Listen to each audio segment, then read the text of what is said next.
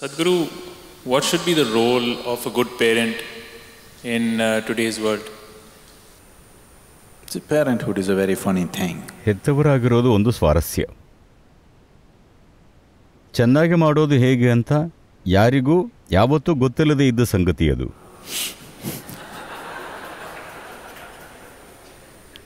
ಅಲ್ವಾ ಮಕ್ಕಳನ್ನು ನೋಡ್ಕೊಳ್ಳೋದಿಕ್ಕೆ ಅತ್ಯುತ್ತಮ ವಿಧಾನ ಯಾವುದು ಅಂತ ಯಾವ ಹೆತ್ತವರಿಗೂ ಗೊತ್ತಿರಲಿಲ್ಲ. ನಿಮಗೆ ಹನ್ನೆರಡು ಮಕ್ಕಳಿದ್ರೂ ಇನ್ನೂ ಕಲಿತಿರ್ತೀರಿ. ಹನ್ನೊಂದು ಸರಿಯಾಗಿ ಬೆಳೆಸಿದ್ರೂ ಹನ್ನೆರಡನೇದು ತಲೆನೋವಾಗ್ಬೋದು.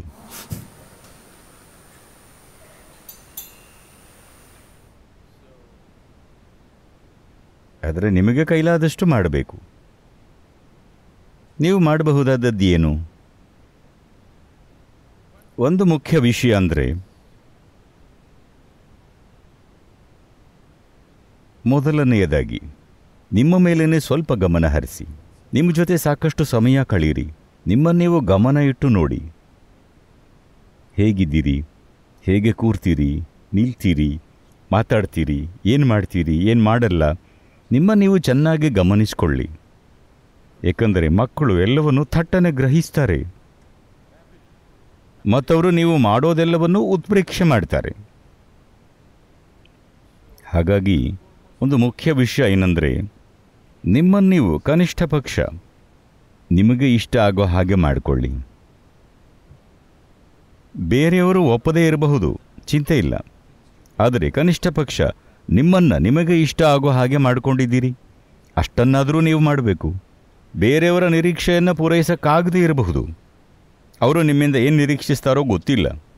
ಆದರೆ ಕನಿಷ್ಠ ಪಕ್ಷ, ನೀವು ನಿಮಗೆ ಇಷ್ಟ ಆಗುವ ಹಾಗೆ ಆಗಬೇಕು. ಇದು ಕಡ್ಡಾಯವಾಗಿ ಆಗಬೇಕು. ಆದರೆ, ಇದು ಅಗತ್ಯವಾದ ಪರಿಸರವನ್ನಷ್ಟೇ ನಿರ್ಮಿಸುತ್ತೆ. ಇದೇ ನಿಮ್ಮನ್ನು ಒಳ್ಳೆ ಹೆತ್ತವರನ್ನಾಗಿಸಲ್ಲ ಆದರೆ ಅಗತ್ಯವಾದ ಪರಿಸರ ನಿರ್ಮಿಸುತ್ತೆ.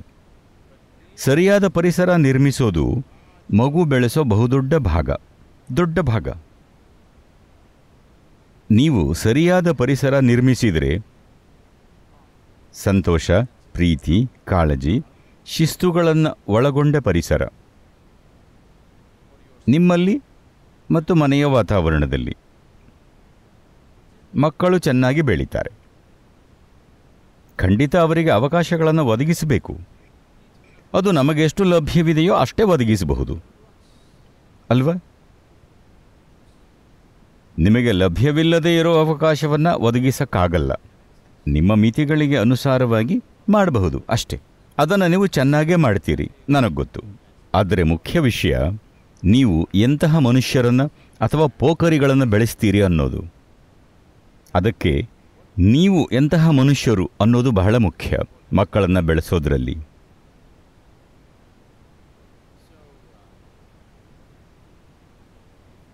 ನಿಮ್ಮ ಪತ್ನಿ ಗರ್ಭಿಣಿಯಾಗಿದ್ದರೆ ಇದು ನಿಮ್ಮ ಸ್ವಪರಿವರ್ತನೆಯ ಸಮಯ.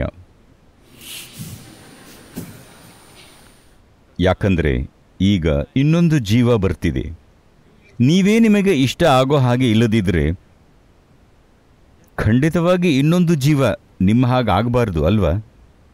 ಆದ್ದರಿಂದ ನಾವೇನು ಮಾಡ್ತಿದ್ದೀವಿ ಅನ್ನೋ ಬಗ್ಗೆ ಅರಿವು ತಂದುಕೊಳ್ಳೋದು ಬಹಳ ಮುಖ್ಯ.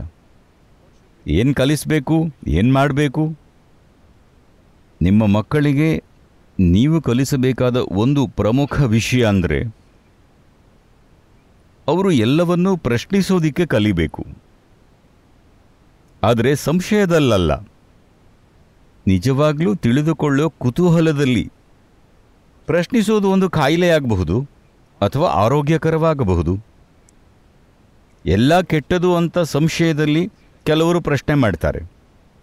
ಅದೊಂದು ಕಾಯಿಲೆ. ಪ್ರಶ್ನೆಯ ಮೂಲ ಉದ್ದೇಶ ಏನು? ಪ್ರಶ್ನೆ ಒಂದು ಸಾಧನ. ನೀವೀಗ ಇರೋ ಹಂತದಿಂದ ಸ್ವಲ್ಪ ಆಳಕ್ಕೆ ಇಳಿಯೋದಕ್ಕೆ ಅಲ್ವಾ? As question is essentially an instrument with which you can dig a little deeper. ಇದೇ ಪ್ರಶ್ನೆಯ ಉದ್ದೇಶ. ನೀವಿದನ್ನು ಮಗುವಿನ ಮನಸ್ಸಿಗೆ ತರಬೇಕು. ಅದು ಎಲ್ಲವನ್ನೂ ಪ್ರಶ್ನಿಸಬಹುದು. ನಿಮ್ಮನ್ನು ಸೇರಿಸಿ. ಇದನ್ನು ಮಾಡಿದರೆ ಆರೋಗ್ಯಕರವಾಗಿ ಸಂಶಯದಲ್ಲಲ್ಲ. ಎಲ್ಲರೂ ತಪ್ಪು ಅಂತ ಮೊದಲೇ ತೀರ್ಮಾನಿಸಿ ಪ್ರಶ್ನೆ ಮಾಡೋದಲ್ಲ. ಇದನ್ನು ಮಾಡಿದರೆ ಮಗು ನಿರಂತರವಾಗಿ ತನ್ನ ಬುದ್ಧಿಶಕ್ತಿಯನ್ನು ಪ್ರಯೋಗಿಸುತ್ತೆ. ಇದರಿಂದ ಮಗು ಬೆಳೆದು ಡಾಕ್ಟರ್, ಇಂಜಿನಿಯರ್ ಆಗುತ್ತೆ ಅಂತಲ್ಲ. ಆದರೆ ಇಷ್ಟಂತೂ ಸ್ಪಷ್ಟ, ಮಗುವಿನ ಬುದ್ಧಿಶಕ್ತಿ ಸಕ್ರಿಯವಾಗುತ್ತೆ. ಅಗತ್ಯವಾದ ಭೌತಿಕ ವಿಷಯಗಳನ್ನು ಹೇಗಿದ್ರೂ ಮಾಡ್ತೀರಿ. ದೇಹ ಆರೋಗ್ಯವಾಗಿರೋದಕ್ಕೆ ಬುದ್ಧಿಶಕ್ತಿ ಸಕ್ರಿಯವಾಗೋದಕ್ಕೆ ಮತ್ತು ನಿಮಗೆ ಸಾಧ್ಯವಾದಷ್ಟು ಮಟ್ಟಿನ ವಿದ್ಯಾಭ್ಯಾಸ ಕೊಡ್ತೀರಿ.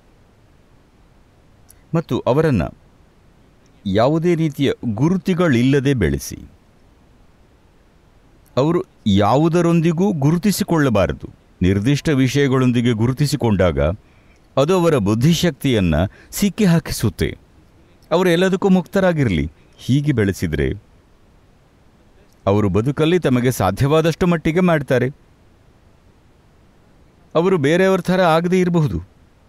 ಆದರೆ ತಮ್ಮ ಗರಿಷ್ಠ ಸಾಮರ್ಥ್ಯಕ್ಕೆ ಅವರು ಬೆಳೀತಾರೆ ಅವರಿಗೆ ಯಾರು ಸಿಗ್ತಾರೆ, ಏನಾಗುತ್ತೆ, ಎಂತಹ ಸನ್ನಿವೇಶಗಳಾಗುತ್ತೆ ಅನ್ನೋದನ್ನು ಅದು ಅವಲಂಬಿಸಿದೆ. ಆಶ್ರಮಕ್ಕೆ ಬರ್ತಾರೋ, ಯುದ್ಧಭೂಮಿಗೆ ಹೋಗ್ತಾರೋ, ಎಲ್ಲಿಗೆ ಹೋಗ್ತಾರೋ ಯಾರಿಗೆ ಗೊತ್ತು. ಅದನ್ನೆಲ್ಲ ನೀವು ನಿಯಂತ್ರಿಸೋಕ್ಕಾಗಲ್ಲ, ಅಲ್ವಾ? ಆದರೆ ನೀವು ಪ್ರೀತಿ, ಧ್ಯಾನ, ಮುಕ್ತತೆಯ ಪರಿಸರ ನಿರ್ಮಿಸಿ. ಯಾವುದರೊಂದಿಗೂ ಗುರುತಿಸಿಕೊಳ್ಳದೇ ಇದ್ದಾಗ ಸಹಜವಾಗಿ ಪೂರ್ವಗ್ರಹ ಇರಲ್ಲ. ಮಕ್ಕಳನ್ನು ಪೂರ್ವಗ್ರಹ ಮುಕ್ತವಾಗಿ ಬೆಳೆಸಿದರೆ, ಪ್ರೀತಿ, ಮುಕ್ತತೆಯ ಪರಿಸರದಲ್ಲಿ ಬೆಳೆಸಿದರೆ ಸಾಮಾನ್ಯವಾಗಿ ಚೆನ್ನಾಗಿ ಬೆಳೀತಾರೆ. ಆದರೆ ಗ್ಯಾರಂಟಿ ಇಲ್ಲ. ಏಕೆಂದರೆ ಸಮಾಜದಲ್ಲಿ ಬೇರೆ ಪ್ರಭಾವಗಳೂ ಇವೆ. ನಾಳೆ ಯಾರ ಕೈಗೆ ಸಿಗ್ತಾರೋ ನಮಗೆ ಗೊತ್ತಿಲ್ಲ. ಅಲ್ವಾ? ನಿಮ್ಮ ಕೈಲಾದಷ್ಟು ಮಾಡ್ತಿರಬಹುದು. ಆದರೆ ನಾಳೆ ನಿಮ್ಮ ಮಗು ಯಾರ ಪ್ರಭಾವಕ್ಕೆ ಬೀಳುತ್ತೆ ಅನ್ನೋದಕ್ಕೆ ಏನೂ ಗ್ಯಾರಂಟಿ ಇಲ್ಲ. ಆ ರಿಸ್ಕನ್ನು ನೀವು ಯಾವಾಗಲೂ ತಗೋತಾ ಇರ್ತೀರಿ. ಆದರೆ ಒಂದೇ ವಿಷಯ ಅಂದರೆ ನಿಮ್ಮ ಕೈಲಾದಷ್ಟು ಮಾಡಿದ್ರಾ ಅನ್ನೋದು. ಜೀವನ ಅಂದರೆ ಅಷ್ಟೇ.